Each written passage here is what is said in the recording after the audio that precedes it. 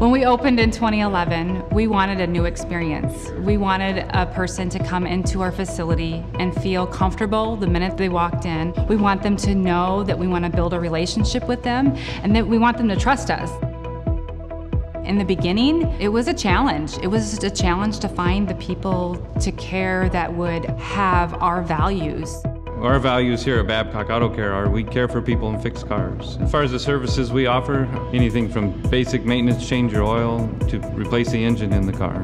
And we do that by following what we call the four C's. Concern, what's the concern the customer brought their car in for? The cause, figuring out what, it, what is the cause. The correction, you know, getting the fix done correctly, and then confirming it's fixed. We're really big on quality.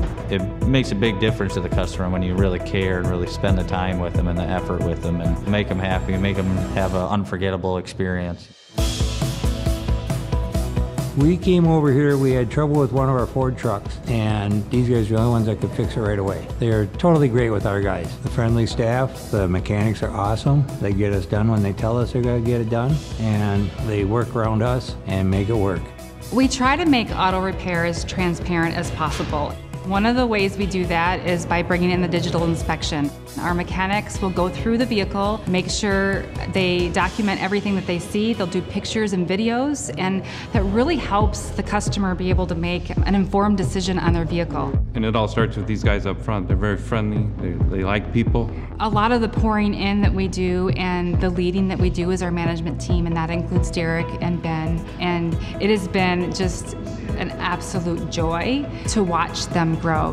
Here, I have a voice, I have a say. They listen to what, not just myself, what the employees want. Everybody's gotten to know each other and gotten along really well, and everybody just drives well, everybody's personalities, and it's a good place to go to when you can go to work and have fun at work. I think it's good for people to see that there's good people that run these shops. That's why they're up on the front counters, because they like people. I want to continue to pour into our people, not so they're better mechanics, not so they're better service advisors, but so they're better people. It's the culture and the values that we all follow.